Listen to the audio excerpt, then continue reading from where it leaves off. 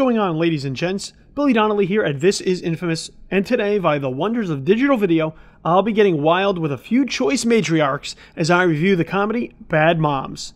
Let me be frank with you right out of the gate. This film is funny. Like, hilariously funny. Like, so rip roaringly funny, I almost peed my pants. Twice. As I laugh my way through it. If that's not the sign of a good comedy that's doing its job, I don't quite know what is. But at the heart of Bad Moms is Mila Kunis as Amy Mitchell, a mother of two with a lazy ass husband who's doing her best to keep it all together.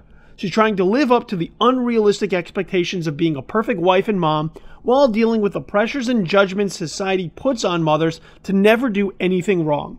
And eventually, when a chance straw comes along to break that camel's back, Kunis says F it and puts much more time and effort into herself than everyone else.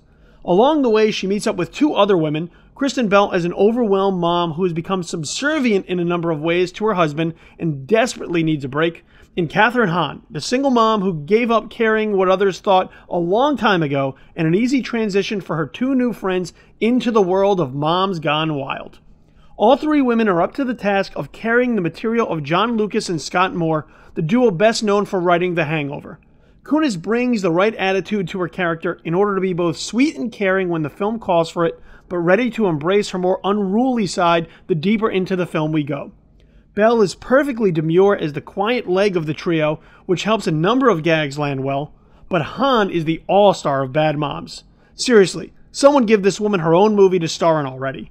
Words cannot even properly do justice to what Hahn brings to this film, but she's a non-stop faucet of outrageousness here, and that makes for so much laughter that your sides are bound to be hurt by the end.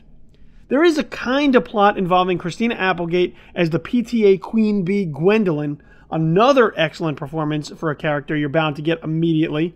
And look, I cannot say enough nice things about this fantastic comedy. This is hands down the best comedy I have seen all summer, and the most I can recall laughing during a movie in quite some time. Go see Bad Moms. Your sense of humor will thank you for it. Be sure to like this video down below Feel free to join in the discussion by leaving your own comments and subscribe to the YouTube channel as a whole so you can be notified of all new video reviews, interviews, and podcasts that come your way. That way, you never miss a bit of content from us. Until next time, I'm Billy Donnelly for This Is Infamous.